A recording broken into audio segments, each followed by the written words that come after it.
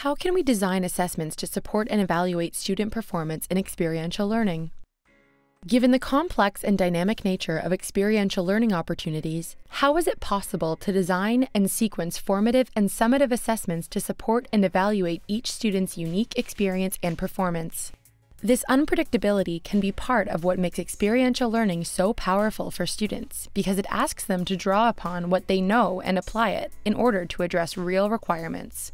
Because of its applied nature, EL opportunities give instructors a chance to help students acquire a firm grasp on the links between theory and practice, results and processes, and thinking and action.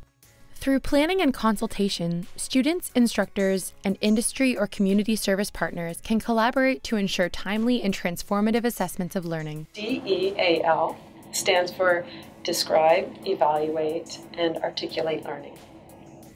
Uh, so taking taking the reflection in that phased, structured way seemed to help students uh, begin to integrate classroom learning with their experience, and also separate those moments from uh, the of the observation of what they did from the more analytical moments where they're trying to evaluate what what happened, and then uh, articulating learning is about identifying the significance of what they learn for themselves uh, or for uh, notions of civic engagement more broadly.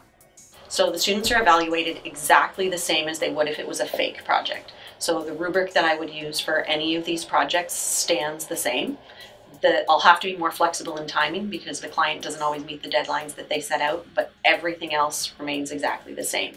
And it allows you to kind of move up the taxonomy. So I'm never grading on whether they know something or whether they understand it. It's always what their analysis was, what their application was, how they conducted the assessment, and I'll not only be able to see the final product in their work, but I'll have been able to observe the, the pieces and the inputs in. So I observe the way that they interact on site, I observe the way they speak to the client, and so I can provide a lot more in-depth work than if they had run off and done the project separately.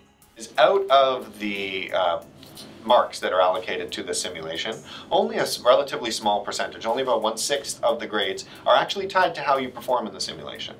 Most of the grades are around reflection upon doing it, pres presentations about your strategy, status reports, um, great elements of that nature that are not at all tied to your performance. It's more about, okay, have you thought about your performance?